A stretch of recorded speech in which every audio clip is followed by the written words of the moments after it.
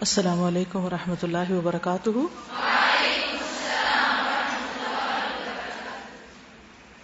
کیا حال ہے؟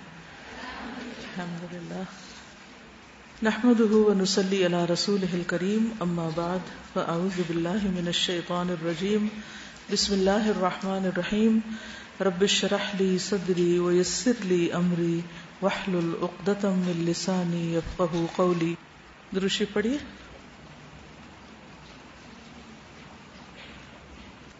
حدیث نمبر 96 عن عبد الله بن عمر رضي الله عنهما قال اخذ رسول الله صلى الله عليه وسلم بمن كبي فقال كن في الدنيا كأنك غريب او عابر سبيل رواه البخاري کتاب الرقاق۔ سیدنا عبداللہ بن عمر رضی اللہ عنہما نے بیان کیا کہ رسول اللہ صلی اللہ علیہ وسلم نے میرا شانہ پکڑ کر، کندھا پکڑ کر، یہ فرمایا کہ تم دنیا میں ایسے رہو جیسے کہ تم اجنبی ہو، اسٹرینجر ہو، یا کسی راہ کو عبور کرنے والے یعنی مسافر۔ عن عبد اللہ ابن عمر رضی اللہ عنہما قال، اخذ رسول الله صلى الله عليه وسلم رسول الله صلى الله عليه وسلم بمن كبي بمن كبي فقال فقال كن في الدنيا كن في الدنيا كأنك غريب كأنك غريب أو عابر سبيل أو عابر سبيل رواه البخاري رواه البخاري كتاب الرقاق. منکب کہتے ہیں کندھے کو۔ قرآن مجید میں یہ لفظ استعمال ہوا کہاں پر؟ سورت؟ سورت الملک۔ روز تو پڑھتے ہیں آپ اس کو رات ہاں؟ فمشو ہی مناکب وہ کیا ہے اس کی؟ جمع۔ منکب کی جمع ہے مناکب۔ چلو زمین کے کندھوں پر۔ مناکب۔ چلیے، یہی بات آپ اپنی ساتھی کے کندھے پہ ہاتھ رکھ کے کہیں۔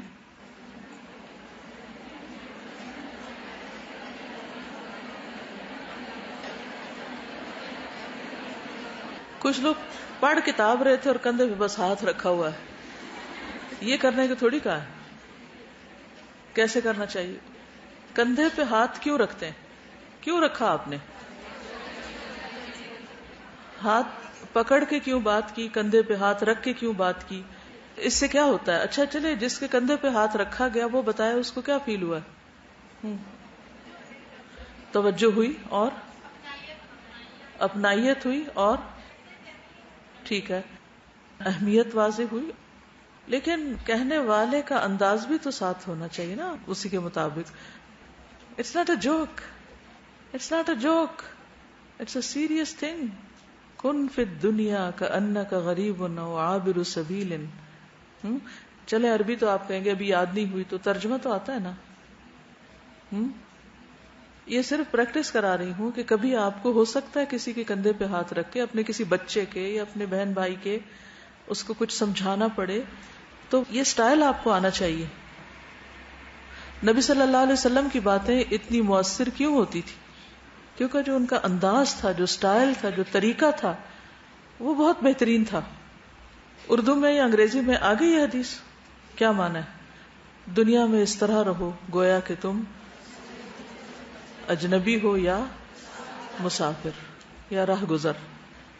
اب یہ جملہ اگر آپ کو یاد ہو گیا ہے تو یہ ذرا سوچ لیجیے اور دوبارہ کہیے۔ ہر شخص اپنے رائٹ سائڈ پہ بیٹھے ہوئے شخص کے ساتھ ایسا کرے اور پھر واپس پلٹ کے جس کے کندھے پہ رکھا گیا ہاتھ وہ واپس دوسرے کے کندھے پہ رکھے۔ دونوں ایک دوسرے کے کندھے پہ رکھے۔ چلیں۔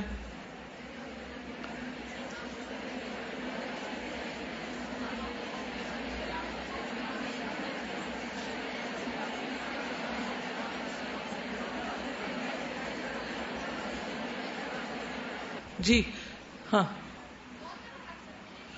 جی میں یہ بھی دیکھ رہی تھی کہ کچھ لوگوں نے پیچھے سے ہاتھ رکھا ہوا تھا، کچھ نے آگے سے رکھا ہوا تھا، کچھ نے لیفٹ کندھے پہ رکھا ہوا تھا، کچھ نے رائٹ پہ رکھا ہوا تھا، کچھ نے لیفٹ ہینڈ سے رکھا ہوا تھا، کچھ نے رائٹ ہینڈ سے۔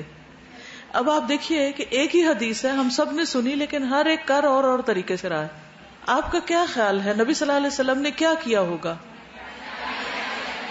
رائٹ ہینڈ کس کندھے پہ رکھا ہوگا؟ رائٹ پہ رکھا ہوگا نا؟ جو سامنے والا ہے اس کا کیا ہوگا لیفٹ ہوگا یا اس کا رائٹ ہوگا کراس کر کے اس کا سارے آگے منہ کے آگے سے ہاتھ ڈال کے ادھر رکھا ہوگا کیا خیال ہے وہ ایک اور جیسر بتا رہی ہے پیچھے سے کندھے پہ ہاتھ رکھنے۔ کیا خیال ایسے کیا ہوگا؟ اس پر ریسرچ کی جا سکتی ہے مزید کہ آپ کے رکھنے کا انداز کیا تھا۔ کیونکہ صحابہ ایک ایک چیز نوٹ کرتے تھے کہ آپ کیسے کر رہے ہیں۔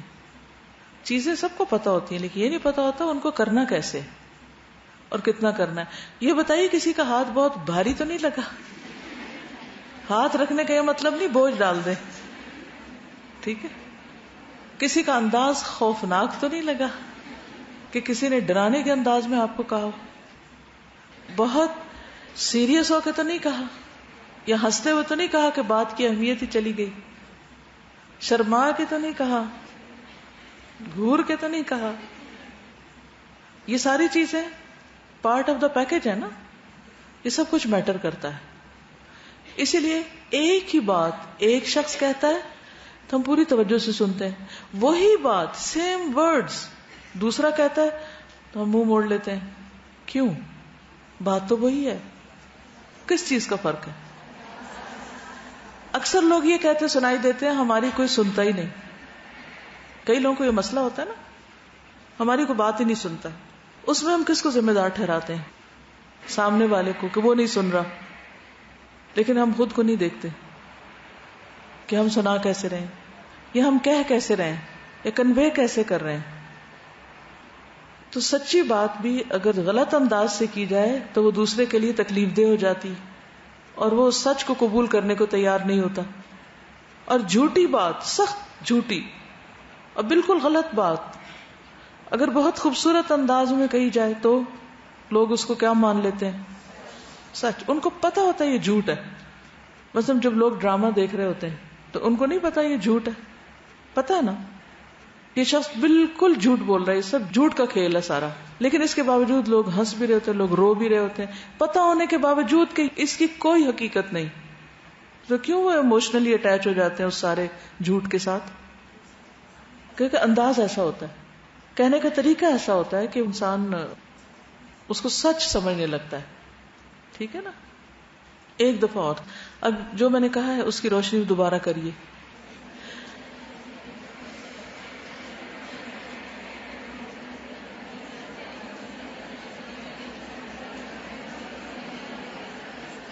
چلیے، یہ بتائیے کہ کیا آئی کانٹیکٹ کے بغیر صرف کندھے پہ ہاتھ رکھنا کافی ہوگا؟ آئی کانٹیکٹ بھی ساتھ ہونا چاہیے۔ ٹھیک ہے نا؟ جی؟ کیا مشکل ہے کہ تھوڑا سا پلٹ جائیں؟ کئی دفعہ ایسے ہی ہوتا ہے، ہم گاڑی میں بیٹھے ہیں، بس میں بیٹھے ہیں پبلک پلیس پہ بیٹھے ہیں ڈاکٹر کے کلینک پہ بیٹھے ہیں۔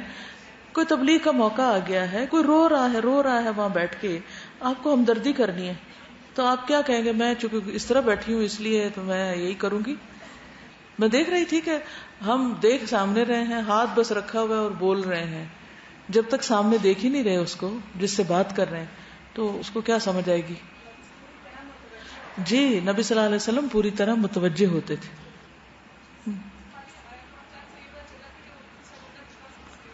ہاں کہنے والا خیر خواہ کتنا ہے، یہ بھی پتہ چل جاتا ہے آئی کانٹیکٹ سے۔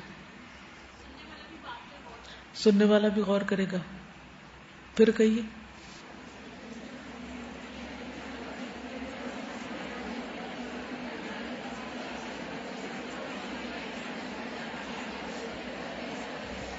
چلیے ٹھیک ہے۔ ماشاء اللہ کچھ لوگوں نے تو بہت ہی اچھا پرفارم کیا میں دیکھ رہی تھی کہ کچھ لوگوں کو کچھ دیر نہیں لگی مڑتے ہوئے اور کچھ دیر نہیں لگی کہ وہ اپنے آپ کو واقعی اس پوزیشن میں لے آئے کہ کام کو صحیح طرح کیسے کرنا ہے۔ جی۔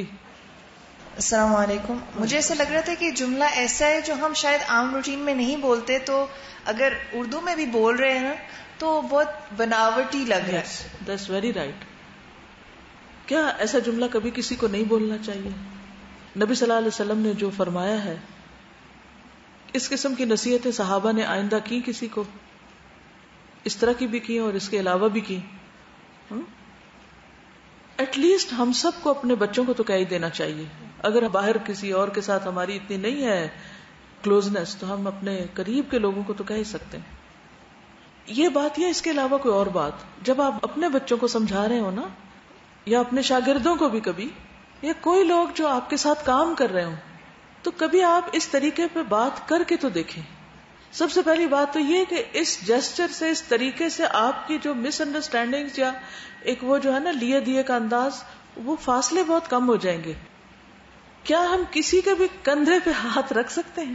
کسی کے بھی اینی ون جی رکھ سکتے، نہیں رکھ سکتے نا۔ کوئی الاؤ کرے گا ہمیں اپنے کندھے پہ ہاتھ رکھنا؟ نہیں کرے گا نا؟ جی؟ عموماً چھوٹوں پہ رکھ سکتے ہیں یا جس سے پیار ہو یا کوئی ایک تعلق ہو، وہی ہمیں اجازت دے گا اور ہم بھی دیر کریں گے اسی کے کندھے پہ ہاتھ رکھنا۔ ہاں؟ تو اس سے پتہ یہ چلتا ہے کہ نبی صلی اللہ علیہ وسلم کے سکھانے کا انداز بس صرف لیکچرنگ نہیں تھا ہماری طرح۔ کہ بہت ساری ڈھیر ساری باتیں کٹھی بتا دی اور بات ختم تو فرض پورا ہو گیا ہمارا۔ بتا دی ہم نے وہ انسٹرکشن دے دی ہیں، نصیحتیں کر دی ہیں۔ ہمارا فرض پورا ہو گیا۔ جی۔ اس میں یہ بات پتا چلتی ہے کہ استاد اور شاگرد کا ریلیشن بہت مضبوط ہونا چاہیے۔ ہمیں تو نام بھی نہیں آتا تو باقی ریلیشن کہاں سے آئے گا؟ اس میں آپ میں سے کوئی شیئر کرنا چاہے گا کہ آپ اپنے بچے کو کیسے نصیحت کرتی ہیں اگر کبھی کندھے پہ ہاتھ رکھا ہو یا سر پہ رکھا ہو یا کمر پہ رکھا ہو یا ہاتھ پکڑ کے بیٹھے ہو اور بات کی ہو کیا آپ بحثیت ماں کے یا بحثیت بڑی بہن کے کبھی ایسے کرتی ہیں؟ اگر کسی نے کبھی کیا ہو تو کوئی شیئر کرے اور پھر اس کا نتیجہ بتائے کیا ہوا۔ جی۔ اپنے چھوٹے بھتیجا بھتیجی ہیں نا ان سے اگر جیسے کوئی بات کرنی ہو کچھ سمجھانا ہو تو عموماً کوشش میں کرتی ہوں کہ ہاتھ پکڑ کے ذرا تھوڑا پیار سے بات کروں۔ تو مان جاتے ہیں بات۔ عموماً جب یوں ہی صرف آرڈرز دیے جا رہے ہوں اور وہ آدھی بات سن رہے ہیں آدھی بات نہیں سن رہے تو وہ نہیں مانتے بات۔ اور ہاتھ پکڑ کے کہہ لیں تو اکثر پیرنٹس یہی غلطی کرتے ہیں۔ دور کھڑے ہو کے منہ موڑ کے انسٹرکشن دے رہے ہوتے ہیں اور بچے بھی ادھر منہ کر کے ادھر جا رہے ہوتے ہیں۔ کوئی اثر قبول نہیں کرتے۔ اور سر اس دن جو آپ نے مجھ سے شام کی کلاس کی بات کی تھی تو آپ نے ہاتھ جب میرا پکڑ لیا تھا تو آگے سے میں انکار بھی نہیں کر سکی۔ ان کو شام کی تجوید کی کلاس دینی تھی۔ اور مجھے پتا ہے کہ سارے دن کے تھکنے کے بعد شام کی تجوید کی کلاس لینے کا مطلب کیا ہے۔ آئی کین انڈرسٹینڈ کیونکہ مجھے بھی جب شام دوبارہ کچھ کرنا پڑتا ہے نا تو وہ نفس پہ بڑا بھاری ہوتا ہے۔ تو اب آلٹرنیٹ بھی نہیں۔ اور ماشاء اللہ وہ صرف چھوٹی سی ایک کوشش تھی کتنے ہی نئے لوگ آ گئے اس کلاس میں۔ جو اس انتظار میں تھے کہ کوئی ٹیچر ملے اور ہم بھی پڑھ لیں، صبح میں کام کرتے، نہیں آ سکتے۔ تو کوئی قربانی کرے گا تو دوسرے فائدہ اٹھائیں گے نا۔ تو مجھے پتا تھا اس کے لیے ہے بہت مشکل۔ تو میں نے کہا اس کو اسٹیج پہ لے آنا۔ اور میں نے اس کا ہاتھ پکڑ لیا۔ اور میرے ذہن میں بالکل یہی سنت تھی نبی صلی اللہ علیہ وسلم کی۔ کیونکہ بہت بھاری اور بڑے بڑے کام جو ہوتے ہیں نا، پیار، محبت اور توجہ کے ساتھ آسان ہو جاتے ہیں۔ وہ پھر لگتا نہیں ہے الحمد للہ کلاس سے پہلے مجھے ایسا محسوس ہو رہا ہوتا کہ نہیں لے سکتی بہت مشکل کام ہے۔ اس ٹائم نیند بھی ذرا آ رہی ہوتی ہے بالکل اور یہ کہ تھکاوٹ بھی بہت زیادہ ہو چکی ہوتی ہے۔ لیکن میں کلاس میں جا کے جب بیٹھتی ہوں تو میں پھر یہ بھول جاتی ہوں کہ اس وقت میں تھکی ہوئی ہوں۔ میں ایکٹیو ہو کے کھڑی ہو جاتی ہوں اور یہ کہ کوشش کرتی ہوں کہ بالکل محسوس نہ ہو کہ میں تھکی ہوئی ہوں۔ بالکل۔ تو محبت جو ہوتی ہے نا وہ بڑے بڑے پہاڑ اور بڑی بڑی زنجیریں توڑ دیتی ہے اور مشکل سے مشکل چیزوں کو آسان کر دیتی سزا یہ کہنا چاہ رہی تھی کہ جو ماں کا لمس ہوتا ہے نا جو بچوں کے حوالے سے بات ہے وہ بڑا کاؤنٹ کرتا ہے۔ بعض مائیں اتنی سخت طبیعت کی ہوتی ہیں پتہ نہیں ان کے ذہن میں کیا ہوتا ہے کہ ڈسپلن ڈسٹرب ہو جائے گا واٹ ایور بچے بہت بگڑ جائیں گے۔ ٹچ کرنا ہی ایک بہت بڑا مسئلہ بن جاتا ہے۔ بچے کے آپ کو بھی بٹھا کے اس کے بالوں میں ہاتھ پھرتے ہوئے اس کو خوبصورتی سے وہ بات سمجھائے ہو نہیں سکتا کہ باقی بات نہ مانے۔ یہ جو ایک آرڈر والا انداز ہوتا ہے نا یہ تو فوجیوں میں چلتا ہے بہت آگے جا کے۔ پہلے آپ اس کی بیسک جب تربیت کرتے ہیں تو اس کے لیے پیار کی ضرورت ہوتی ہے۔ پلس یہ کہ نبی صلی اللہ علیہ وسلم کا جو طریقہ دیکھا کہ اس میں وہ پہلے کسی سے اپنا تعلق بناتے تھے۔ کیونکہ کسی کی بھی بات ماننے کے لیے نا اس کے ساتھ تعلق کا اچھا ہونا بہت ضروری ہے۔ راہ چلتی کی بات کوئی بھی کبھی نہیں مانتا۔ کسی کی بات ماننے کے لیے اس کے ساتھ ایک پیار کا اپنائیت کا کسی نہ کسی درجے کا تعلق ہونا چاہیے۔ صحیح۔ یہ جیسے امیوں اور اس لحاظ سے بتا رہی ہیں میں سوچ رہی ہوں کہ جب میں ایک بچی تھی اور میں کس طرح سے نصیحت قبول کرتی تھی تو مجھے یاد ہے کہ جب ایسا ہوتا ہے نا کہ امیاں ایک اپنے موڈ میں ہوتی ہیں اور جیسے یہ بتا رہی ہیں کہ غصے میں کوئی بات کر دی تو آپ فالو تو اس کو بھی کر رہے ہوتے ہو لیکن اس فالو کرنے میں اور وہ بات کرنا جو پیار سے ایون بیٹا بیٹی کر کے بھی جو بات کی جاتی ہے بے شک ابھی ٹچ نہ بھی کیا ہو تو اس کی تاثیر بھی بدل جاتی ہے۔ اور کجا یہ کہ وہ آئیں اور آپ کے کندھے پہ ہاتھ رکھیں آپ کو گود میں بٹھا کے حق کر کے کوئی بات کی جاتی تو مجھے لگتا ہے وہ ساری عمر نہیں بھولتی اگر اس میں توجہ ہے۔ پیار سے زیادہ کیا ہے اس میں؟ توجہ اور کیئر۔ اس چیز کو ضرور مائنڈ میں رکھیے کہ خیر خواہی کے جذبے کے ساتھ کیئر اور توجہ اٹینشن کے ساتھ آپ متوجہ ہو کے بات کریں گے تو وہ بات اثر کرے گی۔ اور محبت تو ساتھ ہی آ جائے گی لیکن محبت is not at the top کیونکہ بعض اوقات ہم محبت بھی کر رہے ہوتے ہیں اور ساتھ طنز تشنی اور سب کچھ کر رہے ہوتے ہیں ساتھ ساتھ۔ ایسا نہیں کہ کسی کو بعض اوقات ڈانٹنا نہیں پڑتا۔ ڈانٹنا بھی پڑتا ہے۔ لیکن اگر اس میں بھی خیر خائی ہوگی تو وہ بھی اثر کرے گی۔ ٹھیک ہے؟ جی۔ مجھے ہمیشہ یہ فیل ہوا کہ جب بھی میں نے اپنے بچوں سے اگر کبھی مطلب انسان اپنے بھی تو سو موڈز ہوتے ہیں نا، کبھی اچھا اور کبھی برا۔ تو کبھی تھکے ہوئے ایسی بیزاری میں کچھ کہہ دیا اس کا بالکل ہی اپوزٹ افیکٹ ہوئے اور جب بھی میں نے ان کو بٹھا کر پیار سے اور ان کو اپنے سینس آف ٹچ سے میں نے ہمیشہ ایک قسم کا کمفرٹ دینے کی ہمیشہ کوشش کی ہے کہ جو بھی پرابلم ہو اگر میں نے ان کو اپنے ساتھ لگا لیا تو بڑی سے بڑی چوٹ ان کو لگی ہے کچھ ہوا ہے لیکن مجھے یہ ہوتا تھا کہ ایک دفعہ میں اس کو اٹھا لوں اور یہ فوراً رونا بند کر دے گا۔ اور مجھے اتنی حیرت ہوتی ہے ان ماؤں پہ جن سے بچے ان کے چپ نہیں ہو رہے ہوتے۔ یس باقی یہ بڑا اہم پوائنٹ آپ نے اٹھایا۔ مجھے حیرت ہوتی ہے اس ماں پہ جس کی گود میں بچہ اور وہ رو رہا ہو۔ میں کہتی یہ ماں ہے اس کی؟ یعنی بچے کو تو ماں کی گود چاہیے ہوتی ہے چپ ہونے کے لیے۔ بچہ جتنا مرضی رو رہا ہو ماں بس اٹھاتی جائے ساتھ لگاتی جائے اور بچہ چپ ہو جاتا ہے۔ اس میں استاد ایک اور بات یہ ہے کہ جب ہم بغیر کیئر کے کوئی بات کرتے ہیں نا تو وہ اس بندے کے صرف انٹلیکٹ کو جا کے ٹچ کری ہوتی ہے۔ جب ہم اس کی کیئر سے بات کرتے ہیں وہ اس کے دل کو جا کے کھولتی ہے۔ اس میں یہی فرق ہے۔ بالکل۔ استاد میں یہ کہنا چاہ رہی تھی کہ جب آپ کسی کے اوپر ہاتھ رکھتے ہیں جیسا میرے فادر نے میرے سر پہ ہاتھ رکھ کے مجھے کہا تو اس میں وہ صرف نصیحت نہیں وہ ایک مان وہ ایکسپیکٹیشنز ہوتی ہیں۔ اور پھر اگلا بندہ اگر کہیں پہ رکتا ہے نا تو اس کو وہ مان وہ ایکسپیکٹیشنز یاد آ جاتی ہیں کہ جو اس کے فادر یا ماں یا استاد نے اسے باندھی تھیں۔ اور پھر وہ حوصلے کی صورت میں اس کا ساتھ ہوتی ہیں۔ تو پھر انسان وہ ٹارگیٹ اچیو کر لیتے تو مجھے یہ محسوس انرجی کا ٹرانسفر بھی ہوتا ہے۔ جی اور جیسچر وہ جو کہنا چاہتا ہے نا اس کے ہاتھ کے اثر سے اس کو وہ اگلے بندے کی باڈی میں ٹرانسفر ہوتا ہے۔ جو اس کے دل میں امید یا جو جذبے ہوتے ہیں وہ ہاتھ کے تھرو ٹرانسفر ہوتے ہیں۔ مجھے ایسا لگا تھا۔ اسی لیے مسافہ جو ہے اس کے بارے میں آتا ہے نا یو ہب الغل۔ اس سے کیا ہوتا ہے کہ دلوں کا کینا جو ہے وہ نکلتا رہتا ہے۔ ورنہ تو سلام زبانی دعا کر لی کافی ہے۔ جی۔ میں چند دن پہلے ایک ڈاکٹر کے پاس گئی۔ تو ان کے بارے میں میں نے پہلے بہت سنا ہوا تھا کہ وہ بہت ریلیجس ہیں اور وہ تبلیغ وغیرہ کرتے ہیں۔ تو اس سے مجھے ایک انٹرسٹ تھا ان سے ملنے میں کہ ان کا نالج سے بھی میں فائدہ اٹھا سکوں۔ تو میری فیملی بھی میرے ساتھ تھی مدر بھی تھی، بھائی بھی تھا۔ بھائی کو چیک کرانے گئے تھے۔ اور انہوں نے چیک اپ وغیرہ کرنے کے بعد پوچھا کہ آپ نماز وغیرہ پڑھتے ہیں؟ تو ہم نے کہا جی پڑھتے ہیں۔ انہوں نے کہا کس وقت اٹھتے ہیں؟ ہم نے کہا فجر کے لیے لازمی اٹھتے ہیں، اس سے پہلے بھی کبھی کبھار ہو جاتا ہے، جھوٹ نہیں بولنا چاہتے تھے۔ تو ان کے جو آگے سے الفاظ تھے، انہوں نے اتنی برے الفاظ یوز کیے کہ نہیں، اس وقت تو بہت برے لوگ اٹھتے ہیں، آپ تحجد کے لیے اٹھے تو میں اس وقت سوچ رہی تھی کہ اب اگر کوئی انسان ان کو آ کے بتا رہا ہے ہاں میں پانچ وقت کی فرض نمازیں پڑھتا ہوں، تو بجائے اس کے کہ اس کو اپریشیٹ کریں، کہ اس کا مرال اور ڈاؤن کریں کہ اچھا آپ ابھی بھی غلط کر رہے ہیں۔ اور پھر انہوں نے کہا کہ اچھا آپ پہلے اٹھیں اور دعائیں وغیرہ پڑھیں۔ تو ہم نے کہا ہم صبح شام کی دعائیں بھی پڑھتے ہیں الحمد اور انہوں نے کہا نہیں، وہ نہ پڑھیں، آپ فلانی چیز پڑھیں۔ تو اس سے وہ ان کا جو طریقہ تھا اور ان کا جو انداز تھا، حالانکہ ان کے بارے میں پہلے میرے مائنڈ میں بہت اچھا امپریشن تھا، لیکن انہوں نے جو اسٹرکٹ انداز میں اور ایک ڈکٹیٹر کے طور پہ کہا، اس کا بالکل کوئی اثر نہیں رہا۔ حالانکہ ان کی بات ٹھیک تھی۔ تو میں بتانا یہ چاہ رہی ہوں کہ بھلے ہماری بات اچھی ہو، اگر ہمارا انداز ٹھیک نہیں ہے تو وہ پازیٹو کے بجائے نیگیٹو افیکٹ دیتا ہے۔ بالکل صحیح۔ تو اس میں آپ دیکھیے نا کہ یہ بھی تو سنت ہے نا پروفٹ کی پھر۔ ٹھیک ہے نا؟ یعنی اچھا انداز بھی پروفٹ کی سنت ہے اور پھر اگر کوئی شخص فرض پورا کر رہا ہے تو اس کے بارے میں نبی صلی اللہ علیہ وسلم کی جو خوشخبری ہے وہ کیا ہے؟ جو عورت فرض نمازیں پڑھے، رمضان کے روزے رکھے اور شوہر کی اطاعت کرے، وہ جنت کے جس دروازے سے چاہے داخل ہو جائے۔ فرض پورے کرنا بھی ایک بہت بھاری کام ہوتا ہے۔ بہرحال وہ جو بھی ان کا ہوگا، لیکن اگر ہم تبلیغ بھی کرنا چاہتے ہیں یا ہم دین کو ریپرزینٹ کرنا چاہتے ہیں تو صرف الفاظ میں نہیں انداز میں بھی کریے۔ ٹھیک ہے؟ جی۔ جی میں ذرا ڈفرینٹ سے کہوں گی کہ یہ حدیث ہمیں اس لیے کہنے نہیں ہے کہ جس چیز میں ہمارا انٹرسٹ ہوتا ہے نا وہ ہم دل سے بتاتے ہیں۔ ہمارا تو دل خود دنیا میں اٹکا ہوا ہے۔ ہم نے اپنے آپ کو اجنبی نہیں سمجھا مسافر نہیں سمجھا تو میرے اندر فیلنگ ہی کیسے آئے گی؟ دنیا کی انٹرسٹ کی بات ہوتی ہے تو میں دس بار اپنے بچوں کے کندھے پہ ہاتھ رکھوں گی۔ کس کروں گی؟ بیٹا دیکھو، اے گریڈ آؤ گے تو تم یہ ہو گئے، یہ ہو گئے۔ لیکن آخرت کی تو مجھے اتنی فکر نہیں ہے۔ تو جب میرے اندر ٹرو فیلنگ ہوتی ہے نا، تب بھی میں دوسروں کو کنوے اچھی طرح کر سکتی جزاک اللہ خیر بالکل صحیح۔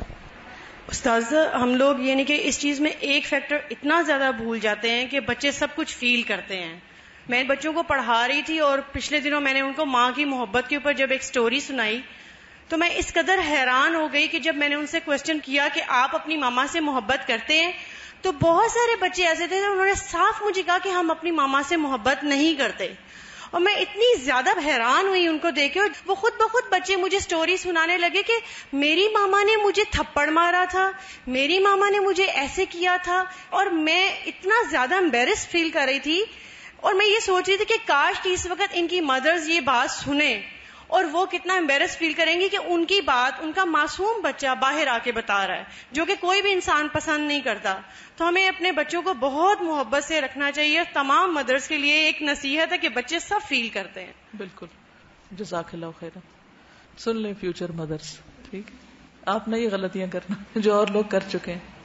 اس میں یہ تھا جیسے بات ہو رہی ہے نا ابھی صرف ہم بچوں کو مخاطب کر رہے ہیں نا کہ بچے بچے بچے۔ دیکھیں، یہ انسانی نیچر میں آتا ہے۔ یہی وجہ ہوتی ہے کہ جو ہمارے بزرگ ہوتے ہیں، وہ ان ریٹرن بھی اسی پوزیشن میں آ جاتے ہیں کہ وہ ہم سے وہی توجہ، محبت چاہتے ہیں۔ جب وہ نہیں ملتا تو نگلیکٹ ہوتے ہیں۔ یہ بچپن سے نہیں، یہ بچپن میں کسی اور طرح کی چاہتے ہیں، بڑے ہو کر ہم کسی اور طرح کے چاہتے ہیں، بزرگی میں ہم کسی اور طرح کے چاہتے ہیں، بیماری میں ہم کسی اور طرح کے چاہتے ہیں۔ تو یہ ایک ایسی انسانی ضرورت ہے جو بیسک ضرورت ہے۔ جزاک اللہ خیر۔ جی سازا یہی بات میں اگزامپل دینا چاہی تھی اپنے بھائی کی کہ میری دادی ماں شی یوز ٹو گو مزار وغیرہ پہ جایا کرتی تھی اور میرے فادر نے ان کو اتنا زیادہ اس چیز سے منع کیا مدر نے باقی سب چیزیں مان لیتی تھی یہ بات نہیں مانتی تھی۔ تو میرے بھائی نے ایک دن آفس سے آئے تو انہوں نے ایسے ماں کو ہاتھ رکھا کندھے پہ ان کے پاس اور ان کو کہتے ہیں کہ آپ مجھ سے پیار کرتی ہیں نا بہت۔ انہوں نے کہا ہاں کہتے ہیں آپ کو میں اچھا لگتا ہوں نا تو آپ میری ایک بات مانیں گی کہ آپ آئندہ اس طرح نہیں چاہیں اور اس دن کے بعد سے آج سے نیور تو مجھے یہ بات اتنی اچھی لگی تھی بھائی کی کہ میں نے کہا وہ کسی اس سے نہیں ہے پڑھے بٹ بہت اچھا طریقہ تھا ان کا السلام علیکم۔ میں بچوں کا ہی ذکر کروں گی کہ ابھی میرے بیٹا جو ہے وہ دس سال کا ہوا تو برتھ ڈے تو ہم نے سیلیبریٹ نہیں کی۔ تو میں نے اپنے بیٹے کو ایسے ہی کندھے پہ ہاتھ رکھ کے اور اسے کہا کہ بیٹا دیکھو اب تم ٹین ایئرس کے ہو گئے ہو اب تمہارے اوپر نماز فرض ہے۔ تو اب تم نے کسی دن بھی جو ہے نا اپنی نماز نہیں چھوڑنی۔ اور وہ دن ہے اور ماشاء اللہ پندرہ بیس دن گزر گئے اس کی برتھ ڈے کو۔ فجر کے وقت بھی میں اس کو اٹھاتی ہوں۔ وہ اسکول کے لیے بڑی مشکل سے اٹھتا تھا۔ میں صرف کہتی ہوں، سائم اٹھو بیٹا نماز کا ٹائم کہ وہ اٹھتا ہے ماشاء اللہ وضو کرتا ہے، نماز پڑھتا ہے۔ اللہ تعالیٰ اور بھی استقامت دے اس جی۔ میں یہ جب پڑھ رہی تھی نا، ابھی جب سارے کمنٹس دے رہے تھے، تو میں کیونکہ سائیکالوجی پڑھتی تھی، تو اس میں ایک ہمیں بتایا تھا کہ ٹچ سسٹم سے بات کی جائے تو اس کا افیکٹ کیا ہوتا ہے۔ اور میں سوچ رہی تھی کہ اس کے بعد میں نے آبزرو کرنا بہت زیادہ شروع کر دیا۔ موویز دیکھتی تھی تو اس میں آبزرو کرتی وہی آپ نے بات کی نا، محبت والی۔ اس میں محبت والا فیکٹر نہیں، جس نے کسی کو توجہ سے بات سمجھانی تھی تو شولڈرز پہ ہاتھ رکھتے تھے۔ تو میں سوچ رہی تھی کہ ان لوگوں نے اس کی حکمت کو سمجھ لیا نا کہ اس کے اندر افیکٹ ہے اور ہم اس کی حکمت کو نہیں سمجھتے۔ کل ایک ہوم ورک ملا تھا آپ کو کہ نبی صلی اللہ علیہ وسلم کے گھر کا سامان دیکھ کر آئیے۔ دیکھا؟ جی کیا کیا ملا وہاں؟ کتاب کا نام بھی بتائیے کہاں سے دیکھا آپ نے؟ السلام علیکم۔ یہ ہے اسوائے رسول اکرم۔ گڈ ڈاکٹر محمد عبد الحی کی بک ہے۔ اچھا۔ اس میں ہے کہ ایک اساتھ ہے جس کے ذریعے آپ سواری پہ بیٹھتے ایک لکڑی کا کنڈے والا پیالہ، ایک شیشے کا پیالہ اور ایک واش روم کے لیے ایک برتن سا تھا۔ ایک مشکیزہ، ایک پتھر کا برتن وضو کے لیے، ایک کپڑے دھونے کے لیے اور ایک ہاتھ دھونے کے لیے بڑا برتن۔ ایک تیل کی شیشی، ایک تھیرا جس میں آئینہ اور کنگھی، دو کھینچی اور مسواک ہوتے ایک بہت بڑا پیالہ جس کے چار کنڈے تھے اور اسے چار لوگ مل کے اٹھاتے ایک مد بھی تھا اور ایک چمڑے کا بستر۔ اور حضرت عائشہ کے گھر کے بارے میں جو ہے وہ سیرت عائشہ میں لکھا ہوا تھا، سید سلمان ندوی۔ گڈ ہماری کلاس میں کسی نے بولا تھا تو میں نے وہ نوٹ کیا تھا۔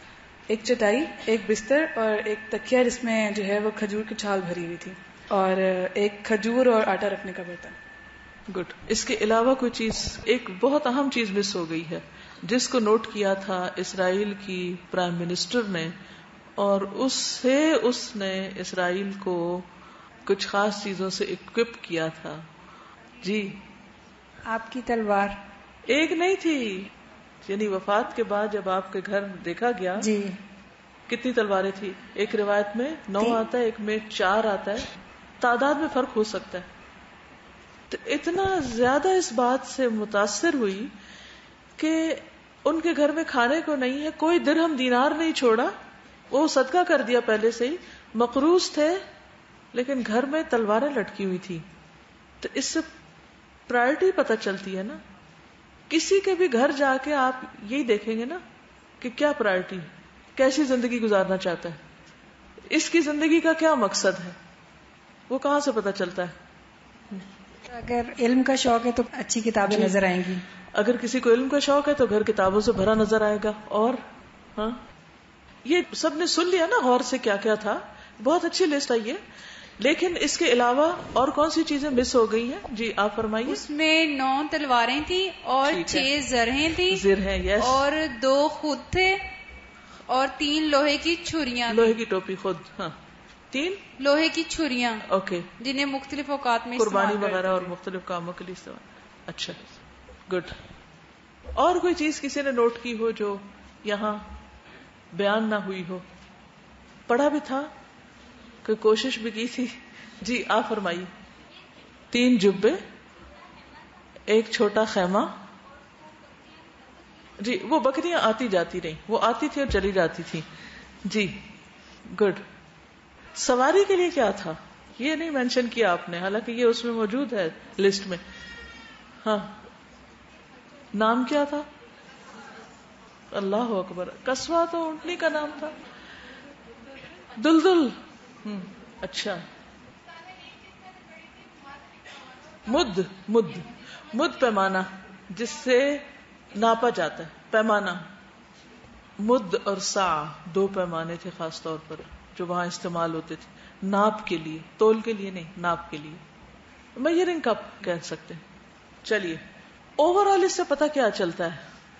جو آپ نے یہ بات فرمائی عبداللہ بن عمر کو کہ کن فی دنیا کا ان کا غریب او عابر سبیل ہمارے یہاں تو آج کل مسافر بھی اس سے زیادہ سامان لے کے چلتے ہیں۔ پچھلے دنوں کسی نے مجھے حج پہ لے جانے کے سامان کی لسٹ دی۔ وہ میرا خیال ہے کہ چار صفحے کی تھی یا تین صفحے کی تھی۔ اس کو دیکھ کے میں پریشان ہو گئی۔ میں نے کہا پھر تو یہ سامان ہی حج کرے گا، خود تو جگہ کم ہی ملے گی۔ اگر سارے حاجی یہ سب کچھ لے جائیں۔ اور مجھے حیرت ہوتی ہے کہ وہاں بھی کچھ مل جاتا ہے۔ ایسا نہیں ہے کہ وہاں کچھ ملتا نہیں، وہ جانے والا اتنا ڈرا ہو جاتا ہے کہ پتہ نہیں وہاں تو شاید ہم کسی ویرانے میں جا رہے ہیں۔ ٹھیک ہے، بعض اوقات رش کی وجہ سے مشکل ہوتی ہے، لیکن ہونا یہ چاہیے کہ جب آپ گروپ میں سفر کر رہے ہیں نا، تو کچھ چیزیں آپس میں بانٹ لیں۔ بس کینچی ہے اگر۔ ایک روم کے لوگ ہیں یا فیملی جا رہی ہے یا کوئی، تو ان میں سے ایک رکھ لے۔ ہر کوئی اپنی کینچی رکھے گا۔ اتنی کینچیاں بڑھ جائیں گی سامان میں۔ اسی طرح ایک شخص دوائیوں کا ذمہ دار ہو جائے، ایک شخص کسی چیز کا، ایک شخص تو اجتماعیت کا یہی تو فائدہ ہے، اور حج تو سکھاتا بھی اجتماعیت ہے۔ اور حج میں اگر شیئرنگ نہیں کرنی تو پھر کیا کرنی؟ ٹھیک ہے نا؟ تو اسی طرح کہیں بھی آپ جا رہے ہیں ٹرپ پہ جا رہے ہیں اب اگر ہر شخص اپنے گھر سے کھانے کا بیگ اٹھا کے چلے گا، تو بس تو اسی سے بھر جائے گی۔ تو آپ کے بیٹھنے کی جگہ کہاں ہوگی؟ اسی لیے لوگوں کو ایک نہیں، دو سیٹس چاہیے ہوتی ہیں۔ ایک پہ خود بیٹھتے ہیں اور ایک پہ بیگ رکھتے ہیں اپنا۔ دوسرا چاہے کھڑا رہے۔ تو یہ چھوٹی چھوٹی چیزیں ہیں جو زندگی گزارنے کا سلیقہ ہے اور اس میں بھی ہمیں سنت سے بہت کچھ پتا چلتا ہے۔ تو بہرحال نبی صلی اللہ علیہ وسلم نے جب یہ فرمایا کہ کن فی دنیا کا ان کا غریب ان او عابر سبیل، تو جو مسافر ہوتا ہے وہ صرف ضرورت کی چیزیں ساتھ رکھتا ہے اور نبی صلی اللہ علیہ وسلم کے گھر کا سامان اور آپ کا جو رہن سہن تھا، اس سے پتا چلتا ہے کہ ضرورت کی چیزیں آپ کے پاس تھیں۔ لیکن غیر ضروری سامان آپ نے اکٹھا نہیں کر رکھا تھا۔ حتیٰ کہ ایک موقع پر حضرت عمر رضی اللہ تعالیٰ عنہ آپ کے گھر تشریف لائے اور جب بیٹھے اور کمرے کا جائزہ لیا جس میں سامان تھا آپ کا، تو اس میں جو کچھ انہوں نے دیکھا وہ رونے لگ گئے۔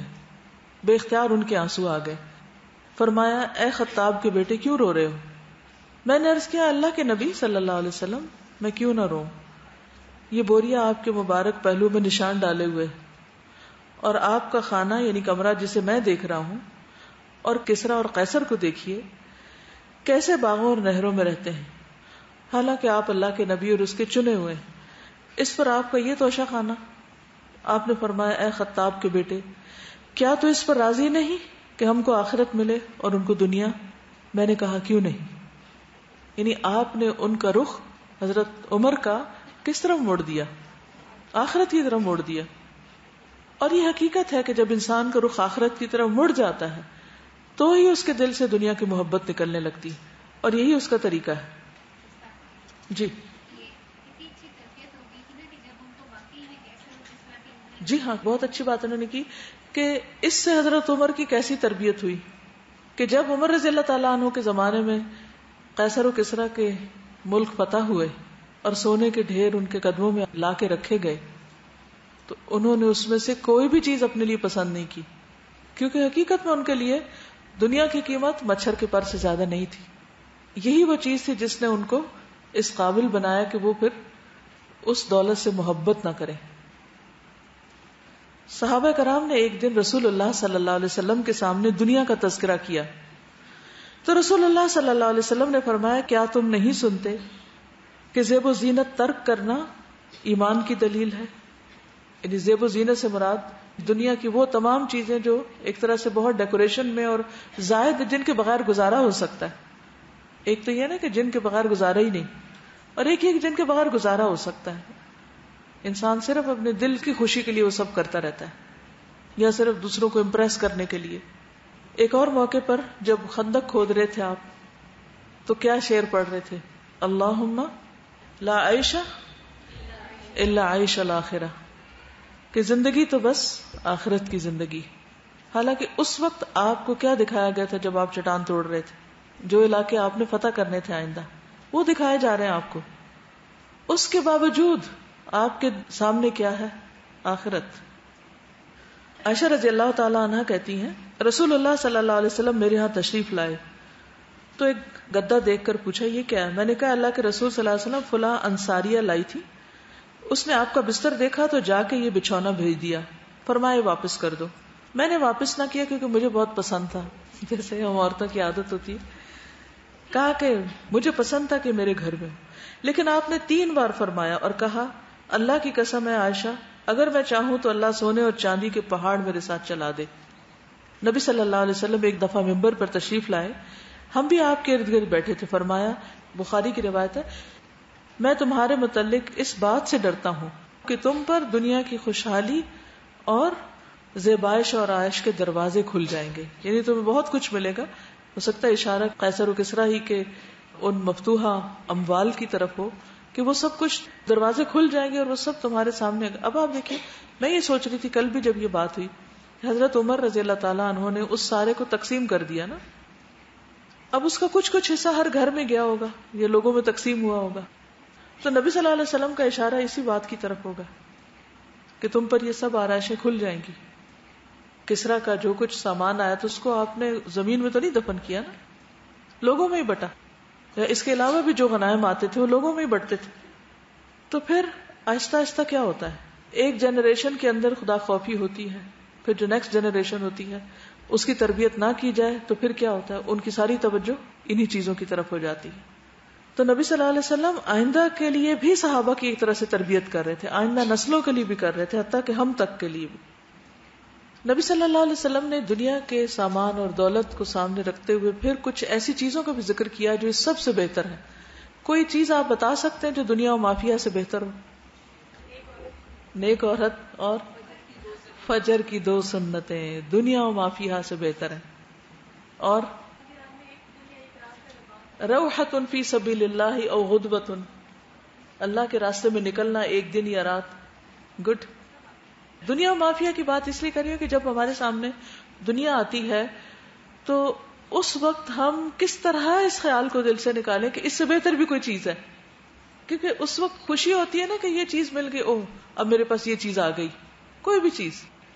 پھر اگر نہیں آئی تو اس کے لیے تڑپنا، اور اگر نہیں ہے تو خود کو مظلوم سمجھنا اور روتے دھوتے رہنا، یا اپنے آپ کو کمتر سمجھنا یا احساس کمتری کا شکار ہو جانا یا کانفیڈینس لوز کر جانا۔ آپ کو پتا کہ بہت سے لوگ صرف اس لیے کسی سے بات نہیں کر سکتے کہ وہ سمجھتے کہ ان کا دنیاوی اسٹیٹس کو بہت اچھا نہیں ہے۔ تو وہ احساس کمتری کا شکار رہتے، کیونکہ ہمارے یہاں لوگوں کو پرکھا کس پہ جاتا ہے؟ ان کے ایمان، اخلاق، ان کے تقوی کی بنا پہ تو نہیں۔ عموماً جب لوگوں کے بارے میں تبصرے ہوتے ہیں یا رشتوں کے لین دین ہوتے ہیں، کیسی باتیں کرتے ہیں لوگ؟ آپ کو پتا نا، وہ مخصوص جملے، کھاتے پیتے لوگ ہیں بولا باقی تو سب بھوکے رہتے ہیں۔ اس جملے کا تو مجھے اتنا برا لگتا ہے جب کوئی کہتا ہے۔ اچھا اسی طرح اور بھی دوسروں کو ناپنے تولنے کے کوئی پیمانے بنائے ہوئے ہم نے۔ اس میں اخلاق، تقوی، ایمانداری، وہ چیزیں کیا میٹر کرتی اسی لیے دیندار طبقہ جو ہے نا، وہ پس ہی رہ گیا، پیچھے ہی رہ گیا۔ تو اگر آپ کو ایمان نصیب ہے، آپ کے پاس سب سے بڑی دولت ہے۔ اگر آپ کو رات کی نماز نصیب ہے، آپ خوش قسمت ہے ٹھیک ہے، اس پہ تکبر مت کیجیے یہ نہ سوچیے کہ میں دوسروں سے اچھی ہو گئی، لیکن اس پر شکر ادا کیجیے کہ اللہ تیرا شکر ہے۔ تو نے مجھے سجدے کی توفیق دی، تو نے مجھے اس نیکی کی توفیق، تو نے میرے دل میں ڈالا۔ تو اس چیز کو جس پر بھی آپ کے دل میں آئے کہ آپ پیچھے ہیں دوسروں سے، ان میں سے کوئی عادت، کوئی نیکی، کوئی کام کر کے اپنے آپ کو شکر گزار لوگوں میں شامل کیجیے کیونکہ ہر وقت روتے دھوتے رہنا جو ہے نا، یہ ناشکری میں آ جاتا ہے کہ ہمارے پاس یہ بھی نہیں، وہ بھی نہیں۔ جی۔ جنت میں ایک کوڑا رکھنے کی جگہ دنیا و مافیا سے بہتر ہے، جزاک اللہ۔ جنت کی عورت کی اوڑھنی جو ہے وہ دنیا و مافیا سے بہتر ہے۔ بالکل۔ نبی صلی اللہ علیہ وسلم نے انا فتح نالا کا فتح مبینہ کے بارے میں فرمایا تھا، کیا؟ کہ مجھ پر ایک ایسی آیت نازل کی گئی ہے جو مجھے تمام دنیا سے زیادہ محبوب ہے۔ آپ ایسی احادیث، ایسی آیات، ایسی چیزیں اکٹھی کر سکتے ہیں کہ جن کی قیمت پوری دنیا سے زیادہ ہے۔ سب سے پہلے تو توحید۔ لا الہ الا اللہ کا نصیب ہونا۔ کیونکہ قیامت کے دن مشرق کیا چاہے گا؟ کافر کیا چاہے گا؟ کہ زمین بھر اس کو سونا مل جائے اور اس کو وہ فدیے میں دے دے اور اس کی جان چھوٹ جائے۔ لیکن زمین بھر سونا بھی اس کو جہنم سے نہیں بچا سکے گا۔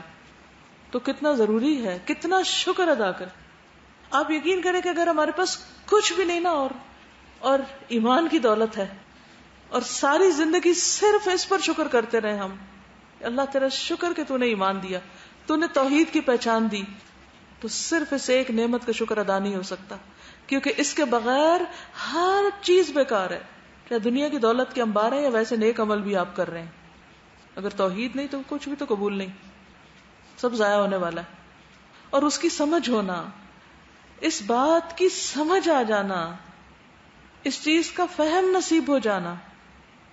کل شام کی کلاس کے بعد ایک بچی مجھے ملی، تو وہ اپنی کسی دوست کا ذکر کر رہی تھی کہ میری بہت اچھی دوست تھی۔ اور کہتی کہ ابھی ہے بھی، لیکن جب اس کی شادی ہوئی، تو سب سے پہلے اس کے ہسبینڈ نے اس کو ہم سب سے ملنے سے منع کر دیا۔ خاندان سے بھی ملنے سے وہ خوش نہیں ہوتا تھا اور پھر کرتے کرتے کرتے وہ سب سے کٹ گئی بچی۔ مقصد کیا تھا؟ مقصد یہ تھا کہ جو اس کا یہ دینی حال، حلیہ لباس، اس کا قرآن پڑھنا، سمجھنا اور اس کے جو نظریات اور عقائد، یہ سارا کچھ ہے، اس سے اس کو کاٹا جائے، یہ دین میں آگے نہ جائے۔ تو سب سے پہلے کیا کیا؟ وہ ساری رگیں کاٹ دی کہ جہاں سے انسان کے ایمان کا پودا سینچا جاتا ہے۔ صحبت صالح وصبر نفسا کا مال لدین یدون ربا بالغیدات ولشی اچھا علم۔ کیونکہ وہ بارش کی طرح انسان کے اوپر برستا ہے۔ اسی طرح پھر یہ علم کی مجلسیں، اللہ کا ذکر اور ہم خیال لوگوں سے ملاقات خواہ وہ بہت زیادہ متقی پرہیزگار نہ بھی ہوں، لیکن ایٹ لیسٹ وہ سوچ اور نظریہ تو اپنے جیسا ہو۔ جب انسان اس سب سے کٹ جاتا ہے نا، تو پھر وہ ایک ایسے پودے کی طرح ہوتا ہے جس کو پانی ملنا بند ہو جائے اور وہ سوکھ کے جل کے ختم ہو جائے۔ تو یہ اس کا لازمی نتیجہ کہ ایسا ہوگا۔ اللہ ماشاء اللہ جس کو اللہ اپنی حفاظت میں رکھے، تھام کے رکھے، تو اس کا تو کوئی اور نعم البدل نہیں۔ لیکن ہم انسان بہت کمزور ہیں۔ پیئر پریشر کو ہم نہیں لے سکتے، گھر والوں کے پریشر کو ہم برداشت نہیں کر سکتے۔ ہم کسی حق بات پہ جم نہیں سکتے کیونکہ بہت سخت ریزینٹمنٹ اور بہت ساری بے روخی جب سامنے آتی تو ہم کہتے ہیں، کمپرومائز کر لو۔ بہت ساری چیزیں۔ یہ ہم سب کو اچھی طرح پتا ہونا چاہیے کہ کہاں تک کمپرومائز کر سکتے ہیں۔ کون سی بات پہ کمپرومائز نہیں کیا جا سکتا؟ مثلا اگر کوئی شوہر آپ کو یہ کہے کہ قبر کو سجدہ کرو یہ قبر کے اندر والے سے دعا کرو، کیونکہ جس پرٹیکولر کیس کی میں بات کر رہی ہوں، ان کا نظریہ یہ ہے۔ تو یہ ایک بڑا سخت امتحان ہے نا۔ دوستوں کو چھوڑنا کوئی بات نہیں۔ گھر بچانا چھوڑ دیتے ہیں۔ ماں باپ کو چھوڑ دو اچھا کوئی بات نہیں۔ ہم تو قطع رحمی نہیں کر رہے، لیکن ٹھیک ہے، اللہ تعالیٰ سے اچھے وقت کا انتظار کرتے سینے پہ پتھر رکھ لیتا ہے انسان۔ خون کے رشتوں کو بھی دور کر دیتا ہے، دوستوں کو بھی کر دیتا ہے، ماحول کو بھی۔ پھر ان سے کہا گیا کہ اپنی ساری کتابیں گھر سے نکال دو۔ آخر اس نے وہ سب کچھ اٹھا کے پوسٹ کیا اپنی اس دوست کو کہ یہ پیپر، کتابیں، ہر چیز، یہ نہیں رکھ سکتی تم۔ اب آپ دیکھیے کہ نہ پڑھنے کو کوئی چیز ہو، نہ ماحول میں کوئی چیز ہو، نہ کوئی دوست ہو، نہ کوئی انسان، نہ کوئی ایسا طریقہ۔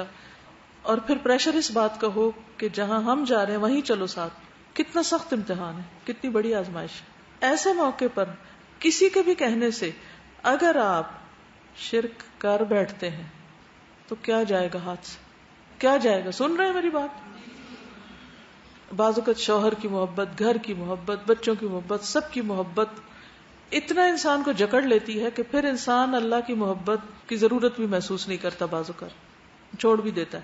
چھوڑو۔ تو وہ کون سی جگہ ہوگی جہاں آپ کہیں گے کہ یہاں تک ٹھیک ہے، یہ نہیں کر سکتی۔ یہ نہیں ہو سکتا۔ کہیں گے حکمت سے، اچھے طریقے سے، پیار سے، محبت سے۔ یا پھر یہ ہے کہ شادی سے پہلے ہی اپنے نظریات واضح کر دینے چاہیے۔ کیونکہ بعض اوقات ہم ڈیسپریٹ ہوتے ہیں، بس شادی ہو جائے، جو مرضی اس کا نظریہ، عقیدہ، بس شادی ہو جائے۔ ٹھیک ہے، یہ بھی نہیں کہا جا سکتا کہ ہنڈریڈ پرسینٹ کوئی ہمارے اس آئینے میں فٹ ہو تو پھر ہم شادی کریں گے۔ یہ بھی غلط ہے، کیونکہ پھر ہمارے معیار بھی بہت اونچے ہو جاتے ہیں۔ مگر ایک چیز جس پہ کمپرومائز نہیں کیا جا سکتا، وہ شرک ہے۔ شرک پہ نہیں کمپرومائز کیا جا سکتا۔ کیوں؟ اللہ باقی سارے گنا معاف کر دے گا۔ شرک کا گنا معاف نہیں کرے گا۔ اللہ کے سوا کسی اور کے آگے سر جھکانا کسی اور سے دعا کرنا کسی اور سے امید رکھنا کہ وہ کوئی ہماری بگڑی سنوار دے گا۔ تو اس چیز کا اچھی طرح پتا ہونا چاہیے کہ کس چیز کو ہر حال میں بچانا ہے کیونکہ اس پر ہماری نجات ہے۔ ٹھیک ہے نا؟ تو اینی anyway, یہ سب کچھ اسی وقت ہو سکتا ہے جب ہمارے سامنے دنیا سے زیادہ آخرت کی اہمیت ہو جائے۔ کیونکہ عموماً پھر لڑکیاں کیا سوچتی ہیں؟ کیا چیز روکتی ہے پھر؟ جس میں انسان عقیدے پہ بھی کمپرومائز کر جاتا ہے۔ دنیا کی محبت ہی ہوتی ہے نا، یہ وقتی جو چیزیں۔ میں اس کیس پہ بات نہیں کری کہ اللہ عالم کون مخصوص انسان کس حال میں ہے۔ اس کا معاملہ اللہ کو زیادہ پتا اس کے دل میں کیا ہے۔ ہم ظاہری حالات سے نہیں جائزہ لگا سکتے۔ لیکن ہاں اگر وہ زبان سے کہ کہ میں اب اسی سوچ کی ہوں جس میں یہ سب ہے پھر واقعی خطرے کی بات ہے۔ جی۔ ایک چھوٹی سی بات ہے جس کو ہم لوگوں کو شاید اپنے دماغ میں بہت زیادہ انسٹل کر لینا چاہیے۔ جب بھی کوئی اچھا کام یا برا کام کر رہے ہوں، تو یہ سوچنا چاہیے، اگر یہ میرا آخری عمل ہو، کیونکہ اگر اس شرک کی حالت میں اگر فرشتہ جان قبض کر لیتا ہے، تو اللہ عالم آپ کے جو بھی نیت ہو، بعد میں جیسا بھی ہو پھر فرق نہیں پڑے گا۔ تو اس چیز کو بہت زیادہ دماغ میں رکھنا چاہیے۔ اور یہ بھی نہیں پتا، ایک تو ہے موت، وہ تو ہے ہی۔ موت کے علاوہ بھی آپ نے دیکھا ہوگا کہ بعض اوقات لوگ دیوانے ہو جاتے ہیں، جنون کا دورہ پڑ جاتا ہے، کسی کا ذرا سا بلڈ پریشر شوٹ کرتا ہے، اس کی بولنے کی قوت چلی جاتی ہے، سوچنے، سمجھنے کی چلی جاتی ہے۔ یہ چیزیں بھی تو ہوتی ہیں اور اس کے بعد انسان دس سال بھی جیے تو اس کی تو اختتام ہو ہی گیا نا، جو وہ اس سے پہلے سوچ رہا تھا۔ تو ان چیزوں کو بھی مد نظر رکھنا چاہیے۔ جی۔ دیکھیے، بہت سے لوگ حکمت کے ساتھ دوسروں کو اپنا نقطہ نظر سمجھا دیتے ہیں۔ Yes. دوست رشتے دار، کتابیں، میل ملاقات، ان سب چیزوں سے ایک طرف۔ کیونکہ یہ قدرتی بات ہے۔ ہم سب اپنے آپ کو رکھ کے دیکھیں نا، جب ہم اللہ اور اس کے رسول کی بات سنتے ہیں تو پھر کیا ہوتا ہے؟ ہمارا ایمان بڑھتا ہے۔ اور اگر ہم نہ سنیں تو کیا ہوتا ہے؟ گھٹتا ہے۔ اور بعض اوقات بالکل ہی بے حسی تاری ہو جاتی۔ ہم میں سے ہر ایک کے لیے ضروری ہے۔ کل میں یہاں سے جب اٹھ کے پیچھے گئی تو ایک بچی مجھے ملی، کہنے لگی، شادی سے پہلے میں نے یہ یہ یہ یہ کام کیے، بڑے بڑے اس نے اپنے کام گنوائے۔ میں کہنے لگی، جب سے میری شادی ہوئی، بچہ ہوا، اب میرا کسی سے کوئی تعلق نہیں، اور میرا اندر لگتا ہے کہ جیسے مر رہا ہے۔ میرے اندر جیسے کوئی دین کی محبت، ایمان، وہ کیفیت نہیں ہے۔ آبیسلی کیسے ہو سکتی؟ تو میں وہی سوچ لے کے اندر گئی، میں نے کہا کہ اس کی کیا وجہ ہے؟ ایسا کیوں ہو رہا ہے اس بچی کے ساتھ؟ اور اس وقت جو بچیاں بیٹھی ہیں، ان کے لیے اس میں کیا میسج ہو سکتا ہے؟ ہم سب جس وقت بیٹھ کے اپنے ہر چیز کو بہتر بنانے کی فکر میں ہوتے ہیں، یہ کر لیں، یہ کر لیں، ہر روز جو سنتے کچھ ایک چھوٹی سی چینج اپنے اندر لاتے ہیں، پکڑ کے بھی رکھنے کی کوشش کرتے ہیں۔ جو ہی ہم ایک اور ماحول میں جاتے ہیں سب ختم ہو کے رہ جاتا ہے یا آہستہ آہستہ ختم ہو جاتا ہے، ہم سب کو اس کی فکر ہونی چاہیے۔ وجہ مجھے تو یہی سمجھ آئی کہ چونکہ کسی بھی چیز سے رابطہ نہیں رہا نا، نہ پڑھنے پڑھانے سے، نہ کسی کے پاس آنے جائیں۔ تو یہ جو کام آپ کر رہے ہیں نا دس از ناٹ اے جاب اور یہ کوئی پروفیشن نہیں ہے جو آپ کر رہے ہیں۔ کہ آپ ایک خاص پروفیشن میں اب اسٹوڈنٹ ہیں تو آپ ایک خاص حلیے میں بیٹھ گئے، آ کے اسٹاف ہے تو ایک خاص حلیے میں آ کے بیٹھے ہوئے ہیں۔ اور جب آپ کہیں اور جائیں تو آپ کا ٹوٹل حلیہ چینج ہو جائے۔ اور اس کے بعد اب تو یہ کام کر رہے ہیں کیونکہ ٹائم ٹیبل آپ کو بنا کے دیا گیا اور پھر یہ چھوڑ دیں کیونکہ آپ کے پاس اب کوئی ٹائم ٹیبل خود بنانے کی صلاحیت ہی نہیں ہے۔ اپنی زندگی کو خود لیڈ ہی نہیں کر سکتے آپ۔ آپ نے دوسروں کے ہاتھ میں دے دیا، وہ آپ کو لیڈ کریں، جو آپ کو کہیں آپ کر دیں، بس وہی۔ تو جو شخص اپنی عقل استعمال نہیں کرتا اور اپنے لیے خود کوئی پلان نہیں کرتا، کہ اس نے اپنے رب سے کیسے تعلق مضبوط کرنا ہے اور کیسے ایمان پر قائم رہنا ہے، تو دوسرے اس کو پھر رول کریں گے۔ تو اس لیے آپ سب ول تنظر نفسن ما قدمت لغد کل کے لیے اس نے کیا کیا؟ آخرت کا کل تو ہے، لیکن دنیا کے کل کے لیے آپ نے کیا پلاننگ کی ہوئی ہے؟ کہ آج جو میں پڑھ رہی ہوں کل کیسے استعمال کرنا ہے؟ اور کس طریقے سے کنیکشن رکھنا ہے؟ تو مسئلہ آپ دیکھیے شادی ہو جاتی ہے نا، نئے لوگ ہیں، آپ یہ نہیں کر سکتے کہ اٹھ اٹھ کے آپ اپنے رشتے داروں اور دوستوں سے آزادی سے ملے یہ نہیں کر سکتے آپ۔ اپنے ماحول میں تلاش کریں، کون آپ کا ہم خیال ہے؟ قریبی لوگوں سے شروع ہو کیونکہ آپ کو اس نئے ماحول میں اپنی جگہ بھی بنانی ہے۔ آپ نے خود بھی جمنا ہے۔ اس کے بعد پھر یہ ہے کہ آپ یہ دیکھیں آپ کس کو فائدہ پہنچا سکتے ہیں۔ آپ کے پاس علم ہے، دوسروں کے پاس نہیں۔ آپ دیکھتے ہیں بڑوں میں کوئی نہیں سننے والا۔ باہر نکلنے کی اجازت نہیں۔ کچھ بھی نہیں کر سکتے۔ آپ یہ کر سکتے ہیں کہ اپنے جس گلی، محلے اسٹریٹ کسی اپارٹمنٹ کہیں بھی رہتے ہیں، آپ دیکھیے کہ وہاں چھوٹے بچے ہیں۔ ان کے ساتھ بیٹھ جائیے، ان کو کوئی اسٹوری سنائیے، ان کے ساتھ کچھ شروع کیجیے۔ اس سے پھر ان کی مدرس کے ساتھ آپ کا کنیکشن بنے گا۔ ان کے ساتھ شروع کر دیجیے اکثر گھروں میں میں نے دیکھا انہوں نے ویکینڈ رکھا ہوتا ہے کٹھے ہو کے بیٹھنے کا۔